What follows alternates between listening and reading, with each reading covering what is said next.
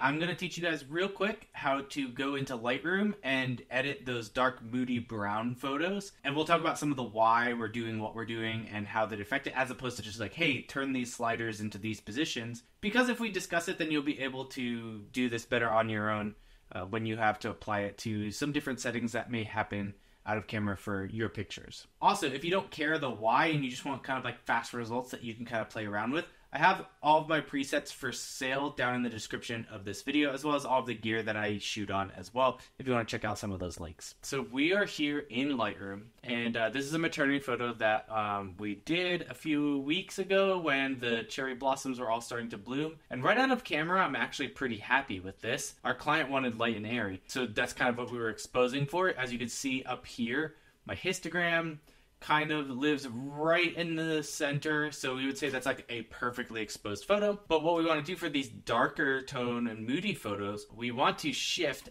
everything over to the right. So in order to do that, we can go by exposure and kind of push everything over into the left side. Okay. So we just want to skew to that direction. The other way you can do that is if you're, uh, let's say you want some of those highlights to remain, you can take your blacks and just shift those over a little bit, and then take your shadows, shift them to the left a little bit, shift your highlights just a tiny bit, and then you have a little bit more contrast, so before, after. Um, either way you want to do it is fine. This is kind of just preliminary to get us to where we want to be. So I want to go over to the left. If you're doing this in camera, you could just expose to the left a little bit. Um, so that's already going to shift things over a little bit. And I'm going to push my blacks over just a hair as well as my shadows and the midtones there. Pretty good already. All right, cool. So presence, I actually want to hit this with a little bit of clarity. I'm actually going to take the texture down a little bit. So um, maybe negative 15 to start and the texture and maybe plus clarity. Now these are just my um, basic, you know, histogram tools and curves and things like that. So I'm gonna put some points on my curve tool here. As you can see, it's just like a little bit muted. Um, I'm gonna boost the vibrance maybe to like plus 20. Um, and saturation, I don't want the saturation up too much. We can always come back and adjust these things later. But this is just kind of the basic beginning edits here. Skip past the color mixer, color grading, and come all the way down to my calibration. What we want to do here is draw out a lot of those browns and those tertiary colors that are very organic and earth tone. Also preserve the skin tone. So whether wherever somebody falls in terms of skin coloration, whether it's really really light skinned or really dark skinned, um, most of that lives primarily in the orange, with a little bit of spill over to the reds and a little bit of spills over to the yellows, um, just depending on the undertones in the skin and the lighting as well.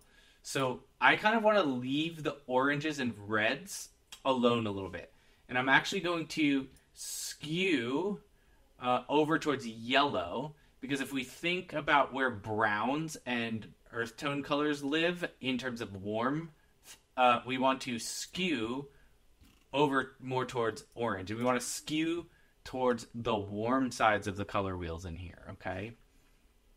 And so what I'm doing down here is I'm just skewing my primary green over to yellow a little bit and I know that this might yellow their uh, skin, but don't worry, we're going to adjust for that in a little bit. And now we can actually skew this over to orange just a little bit more. And I'm going to desaturate my greens. So here's the before and the after, before and after. And you might be thinking like, hey, this looks uh, this looks a little weird, right?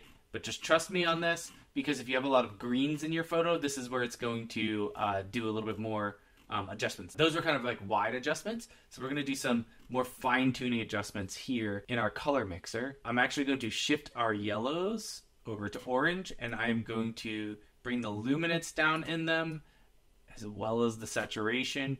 Green, we're going to force these over towards yellow. I'm going to bring the saturation way down. I'm actually going to bring the luminance up just a little bit because we're losing some stuff in the leaves and the buds there, as well as some of the grass on there. Um, but I'm going to bring, like I said, that luminance up. There's probably a little bit of spill into the aqua here. I'm going to leave that as is, but bring the luminance up.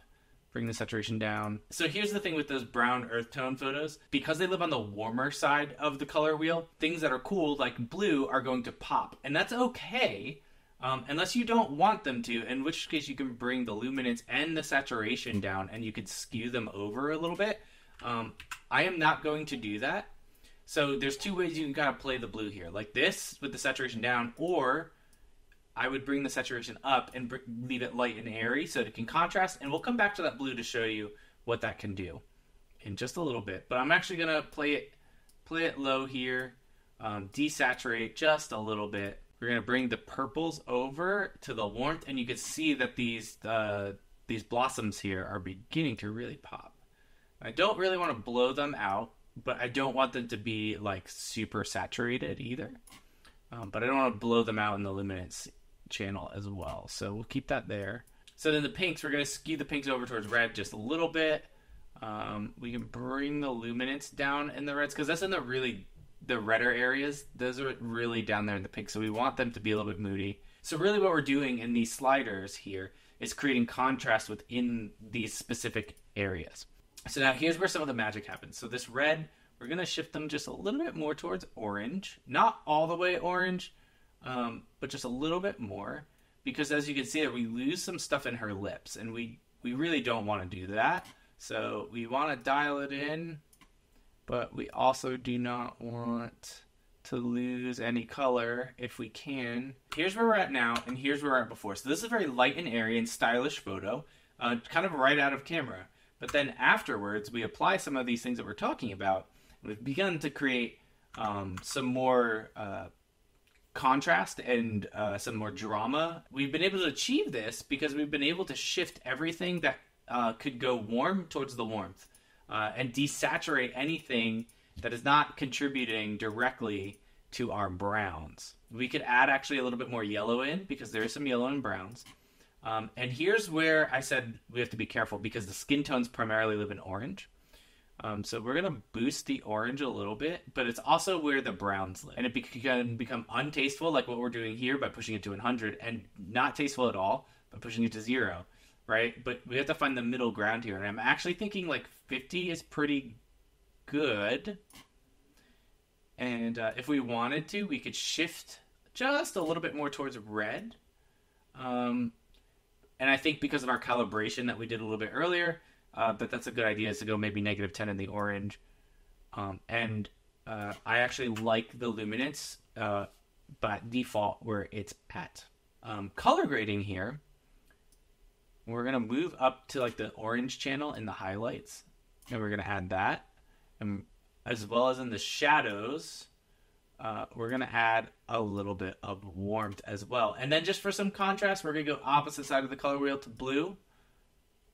In the midtones here, we can do that, and this might vary depending on how much different color you have uh, going on in your image. So let's look at the before and after here right? We definitely added some more um, uh, brown into the image. So I'm gonna add some blue to the shadows instead and make the the highlights and the midtones uh, a bit warmer, right? Yeah. Okay, so let's look at the before and the after here. Um, here is let's turn our, our color off. There's just our color mixer, and then here's our color grading. So that's just color mixer, color grading and we've injected a lot of browns into our image here. What does this look like here?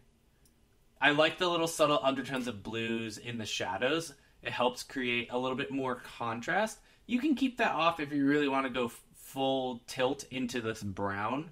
Um, but yeah, and then the blending is just gonna play around with like how strict um, the roll off is between them. And you see, it's not doing much with our histogram. It's really just saying like, hey, there's a very clear border between highlights, midtones, and shadows, um, and a very unclear border between highlights, midtones, and shadows. And then this is like how balanced you want it, meaning like, hey, it's going to give priority to the highlights, um, and this is going to give priority to the low lights. Um, so we're actually going to push it up to maybe about plus 18. I'm going to bring the blending back over here to maybe about plus 61, and we'll see that how that works for us. Oops, clicked into the wrong thing. We want our color grading panel up. Awesome. So that's good right there. And there's a few other things we can do because now what we're doing with our color grading um, and our color mixer is we've told this um, Lightroom saying, hey, we're going to be pushing um, some some tint, uh, some color uh, into pure whites and pl- pure blacks. So here's where we can go with the blues to push some of those blue into the shadows there, right? So instead of being pure black, our blacks are actually the blue. And same thing, they're actually they ski towards yellow. So we're gonna push that there. If you want that faded look, you can just grab and pull everything up here like that. I actually really like it down here. So let's look at this before and after, before and after. Yeah. It's creating just a little bit more separation. Um, but I'm actually going to bring it down just. Actually, going to bring it down just a tiny bit. So now we're good on color, but we can actually push this a little bit more by adding some masks, um, adding some vignettes, um, those kinds of things. And I'll also show you real quick how I kind of like touch up everything here. So what I want to do here is grab a brush and I want to just draw out a little bit more on her face here. So I'm going to bring the exposure up just a little bit and our shadows. That's helping with the roll off look a little bit more natural and then the highlights as well. We come in one more hit with the brush up there and one more hit with the brush down there. I think that blends very well. I want to bring out her hand just a little bit here as well. Same with that. I'm actually going to create a new brush and bring some of these highlights down on the hands. Just because I think they might be a little bit too harsh. And I hit them a second time. Going to come in here and I'm going to grab a new linear gradient.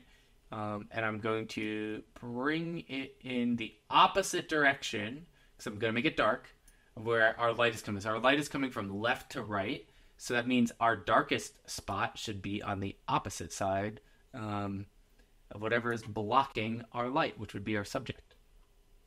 I'm going to actually bring the exposure down just a little bit. Shadows, highlights, everything. Cool. And then we can adjust this to our liking. It should actually be down because the direction of the sun is coming down at like a 40 degree angle there. Cool. Um, within here, this gradient here, what we can do is we can bring our saturation down just a little bit. And then I'm going to add a new radial gradient. I'm going to draw it so that so that our subject here, she's still in it. All right, we want to feather that a bit. Alrighty. I'm gonna invert this. Um, that's just like how I like making masks. Sorry if that's not how you like them, but I like to invert, make my mask like this on my subject and then invert them. And here's what we're gonna do. We're gonna do a similar thing that we did. There we go.